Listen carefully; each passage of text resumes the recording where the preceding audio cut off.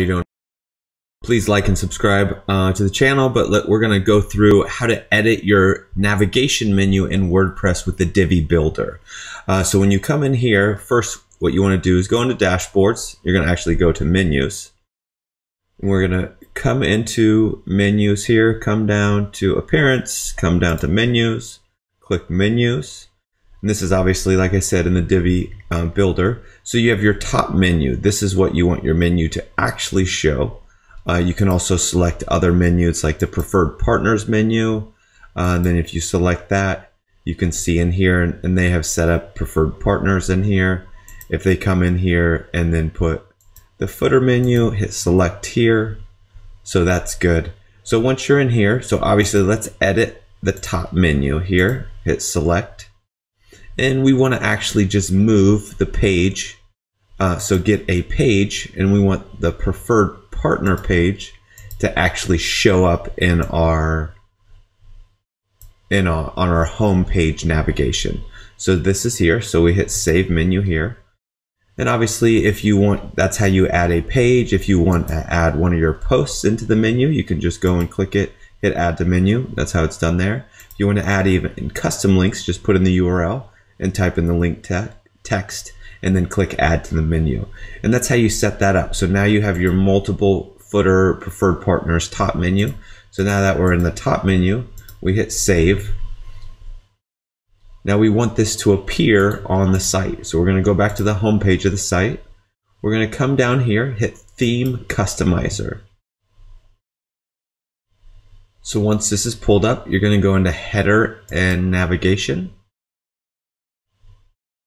Oh, sorry. Actually, we're going to go into menus. That's what I want to say. So we want the top menu to show this. So that's set here as the top menu. Uh, preferred partners. We actually, so that one would show for here.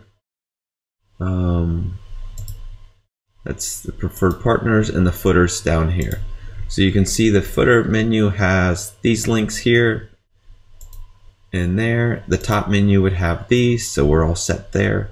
But this is not correct, so testimonials, there we go. Come in here, so that's good in the menus. Menu locations as we want, so we're gonna go in the menu locations. So come down to menu, uh, go to view all locations. Primary menu, we want the top menu. Footer menu, we want the footer menu. And then if we do a secondary menu, we can do the preferred partners or whatever we set. This is normally where I'd put the social links or any of that other stuff in there. So preferred partners would go up here and here. So obviously you can adjust it however you want. Then you just hit publish. And since we added preferred partners here, but we're going to just keep it up here, we're going to get rid of it down in here. So it's only up top. So then we're going to come in here, uh, as well as in the header and nav navigation. We can go to header elements and we put in our phone number here and that will appear up here and we can put our email in here. So that would appear right there. And then we can also show the social icons in here or we can add them up to the top navigation. We can show that in a different video. Uh, so we're going to just delete the phone number in here. That's how you add it. And then obviously you would click publish and that would appear uh, there. So now that we have all this, we're just going to double check hit published. And like I said, we're going to go into the menus again. And here we're going to actually just delete and remove. That's how you remove something from a menu. Then just click save menu. And that's how you make changes and edit uh, the Divi, uh, the menu in your navigation in the Divi Builder.